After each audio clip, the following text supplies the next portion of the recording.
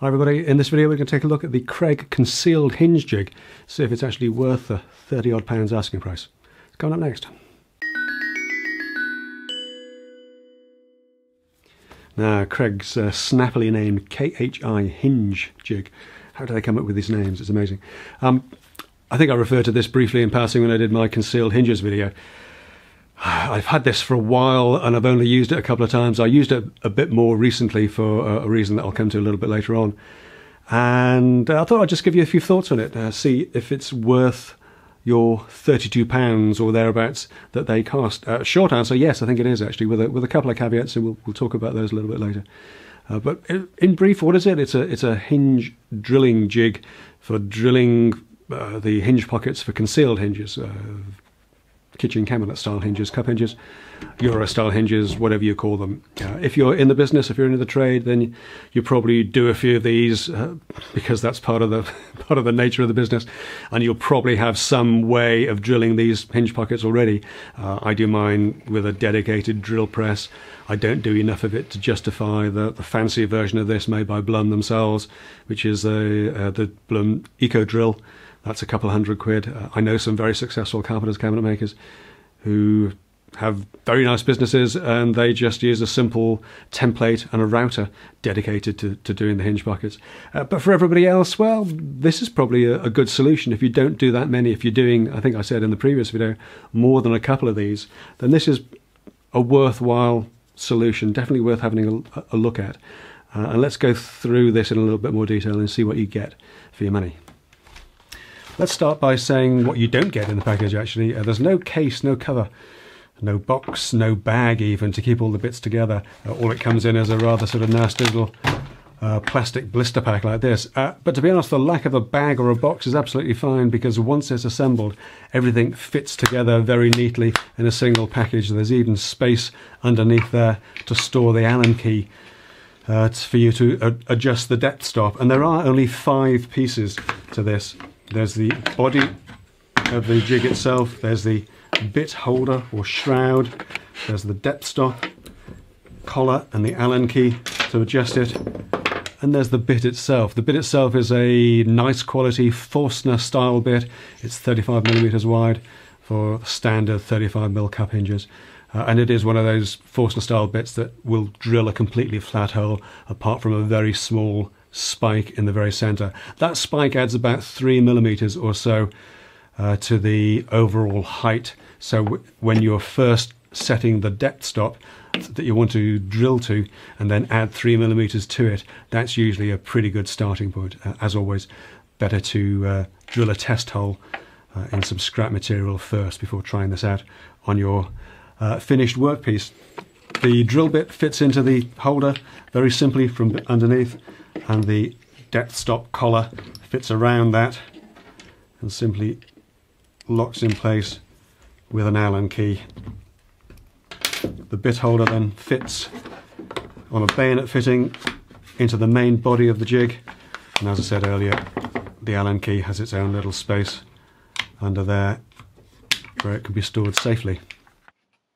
Now in use the jig locates very easily against the edge of the door and there are little cams built into it that lets you change the distance of the hole from the edge of the door. I, I don't particularly like that method of measuring. I prefer to measure to the centre of the hole personally but I understand why they've done it and they give you a choice of 3, 4, 5 and 6 millimeters as preset stops uh, on the jig. They're very easy to adjust with a screwdriver and there's a little cam around the back that clicks into place quite positively. One slightly strange thing that I did find is that they were very easy to move one way but much stiffer to move back the other and if you do find that, that that happens on your jig, it's quite easy just to reach around the back of the jig and just press the little dingus in with a with a fingernail or a small screwdriver while you turn uh, the little cams around to the to the higher settings. I personally found the 6mm setting to be a little bit tight. I prefer to have my hinges in a little bit little bit further inboard than that. Uh, but that's just a personal preference of mine. Uh, there are zero marks on the hinge itself and also little notches within the hinge cutout that let you align against a pencil mark. Uh, the hinge itself, the hinge body is quite deep, so you will need to have those pencil marks go inboard, perhaps a little bit further than you than you might be used to. But once you've got the hang of where they need to be, they're very easy to align. Uh, one thing you must do with these is to clamp the jig down. The jig body underneath is really quite slippery. There's no grippiness there at all, so don't be tempted to try and handhold this in place. You will need to clamp these down because if you don't, then you run the risk of having uh, an inconsistent result. And the whole point of having a jig like this is to have accurate and consistent holes drilled where you want them to be. Uh, I mentioned earlier on there were a couple of slight caveats with this. One of them is the distance from the edge. I personally to have mine prefer to have mine inboard a little bit further. Uh, the other one I'm going to have to show you really because it's a bit a bit strange, and I don't know if it's just this jig or if it's all of them. Uh, let me let me show you what I mean on a, on a sample door. Okay, so we've got our little jig clamped against our mock door. Uh, we've got it all lined up against the pencil mark. We've drilled out the central cup. What happens, especially with MDF, is that everything gets sort of contained within this sort of shroud thing, really. So it's actually quite easy to clear out, although you will need to clear that out, especially with MDF, after every hole you cut. And once that's done, you can fairly easily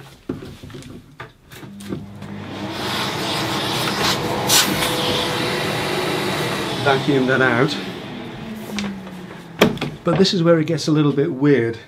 Um, the two holes here, I can't quite see what they're for. I mean, fairly obviously, they're for you to mark the fixing holes that you can screw the hinge to. But ordinarily, I just put an awl through there. But even a skinny little awl like this one isn't small enough to fit through what they seem to be expecting you to do is to, unless you've got a second drill, take the main drill out, put a tiny little 2 mil drill bit in there and drill through there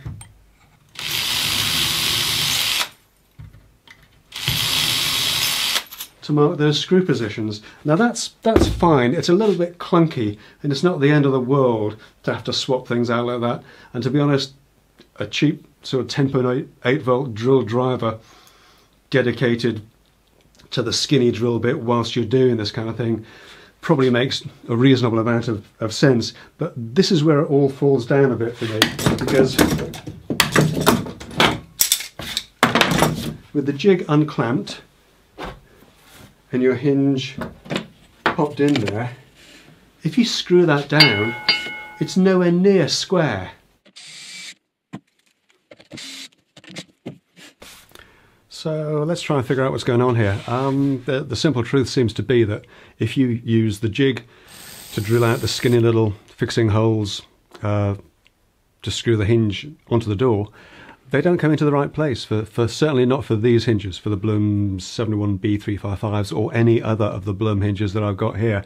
Uh, what happens is, and again, let's let's get the elephant in the room out of the way. Uh, no, I am not moving the jig between drilling the main hinge cup and drilling the fixing holes. It's clamped down very firmly, and when you do clamp this down, by the way, you need to you need to clamp it down quite carefully because it is, as I said before, quite slippy underneath, uh, and it is prone to shifting off the line very slightly as you clamp it down. But clamp it down firmly, and, and you don't move that. That isn't touched at all. You drill out the main cup hole, take that main sort of shroud and bit out carefully uh, and then you use the jig to drill the skinny little fixing holes for the screws for the hinge. And they don't line up. Uh, I don't know why that is. It is very peculiar. Again I've done this so so so many times uh, and I'm getting the same result. It is uh, the definition of madness. Uh, yes the door the samples that I'm using are absolutely square. Yes you put the hinge into the cup and square the hinge body against your square and the holes just don't line up. They're very slightly off, and what happens is because you've got a countersink in the top of the hinge plate, as you screw that down, it pulls the hinge out of true. Um, so overall, a little bit of a strange one, really. I don't understand why those holes aren't big enough to take a stand at all. I don't understand why they don't match the positions on my standard Blum hinges. If you've got one of these jigs and yours works perfectly, let me know in the comments down below because we'd love to benefit from your experience. Uh, it's actually not a deal breaker for me. I think overall, the hinge jig works really well. I'll just carry on uh, fitting my hinge into the hinge cup, squaring it up against the door, uh, and drilling the fixing positions out with my uh, self-centering drill bit, as I always have done. Um, and for everything else, well, the hinge jig works really well. It puts the hinge in the right position consistently. As I say, purely as a personal thing, I would prefer to have it the option to bring the door over so that it was actually in a line uh, with the edge of the cabinet, whereas as it is, it's a millimetre and a half or so uh, out of alignment. But that's just a purely personal preference on my part. But that is kind of it, really. There's not much more to say about this little jig other than to say uh, actually, yeah, one other thing to mention is that this is fairly obviously because of the how closely this bit has to fit in the bit holder. That is a proprietary part, and eventually, when the bit does need replacing when it goes blunt, you will have to buy the official Kreg version. It's not particularly cheap; about twenty-two pounds is the cheapest price I've been able to find for it. Uh, so it's just something to bear in mind. I have heard from a couple of people who've had this jig for a couple of years who've said that uh, after a couple of years of typical hobby use in MDF and in softwoods, uh, the, the drill bit is still going strong. So fair enough. Obviously, if you're using it more regularly than that, or if you're using it in hardwoods, then you might have to factor in a replacement bit a little bit sooner. Uh, but that is it really uh, for this video. I will certainly be uh, continuing to use this jig because my drill press method is set up largely for 22mm doors, so it's quite convenient for me to have an 18mm option. It's also quite convenient for me to be able to take the jig to the door rather than keep taking the door to the drill press. So uh, quite a handy option to have. But that really is it for this video. Don't forget to subscribe for more weekly woodworking and workshop videos. Uh, check out the links down in the video description below to all the good stuff that we've talked about today and for all the different ways in which you can support the channel. And many, many thanks to all of my Patreon supporters who do just that. Remember, there's more good stuff on the blog post on the companion website at 10minuteworkshop.com, and you'll also find links to products that we featured there, as well as links to the Amazon store. But that's it, though, for this week. Really, thanks for watching. I'll see you next time. Take care.